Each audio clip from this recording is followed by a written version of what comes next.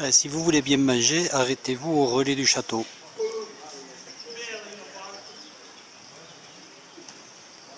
Bien servi, accueil très sympa et prix modéré.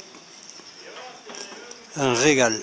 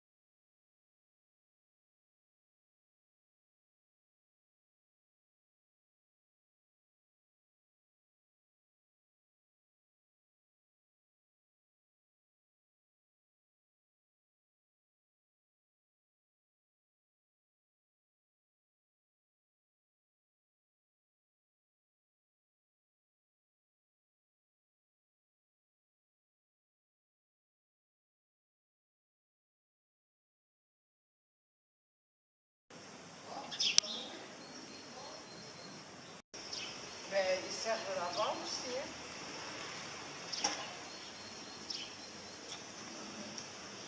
la brasserie de Nage. Brasserie du château.